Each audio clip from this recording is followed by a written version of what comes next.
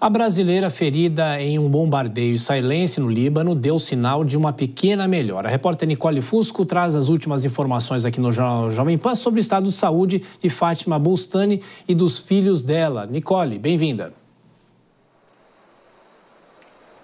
Oi, Tiago. Boa noite para você, para todo mundo que nos acompanha. Obrigada. Eu conversei mais cedo com Hussein Esden, ele que é primo do marido de Fátima Bolstani, e ele contou que Fátima acordou e a primeira coisa que ela fez foi perguntar sobre os filhos dela, como que eles estavam. A filha dela de 10 anos também está melhor, mas continua internada. A gente lembra que ela fez duas cirurgias na perna e continua internada na UTI do mesmo hospital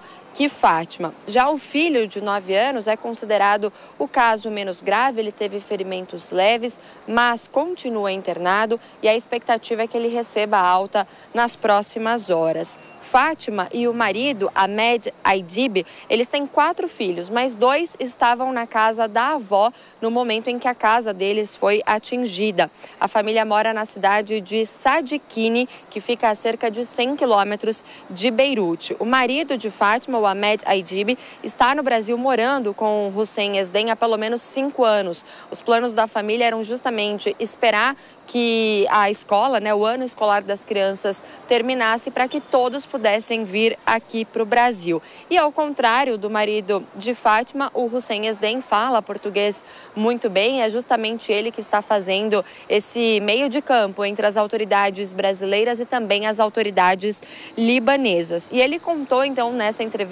que nós fizemos que o apelo para o governo brasileiro é que eles consigam trazer as quatro crianças aqui para o Brasil e futuramente trazer a Fátima Bolstani também, assim que o estado dela, o estado de saúde dela permitir essa viagem. E ele explicou que a situação lá no sul do Líbano, principalmente, está cada vez pior, a questão da segurança está cada vez pior, muitos bombardeios, infelizmente, estão acontecendo por lá. Vamos acompanhar agora um trecho dessa entrevista.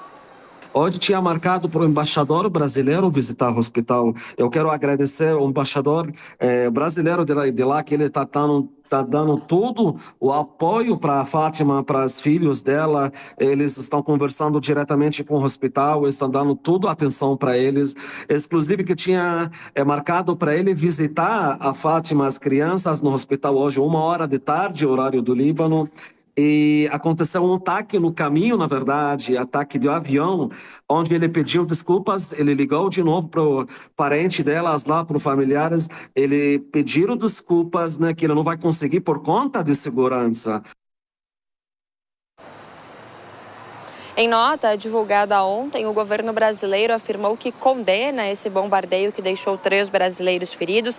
Disse que esse ataque ocorreu no contexto do conflito entre as Forças Armadas de Israel e o Hezbollah. E, ainda de acordo com esse documento, a Embaixada do Brasil em Beirute está em contato com a família, com o hospital onde esses três brasileiros estão internados e está prestando o apoio consular.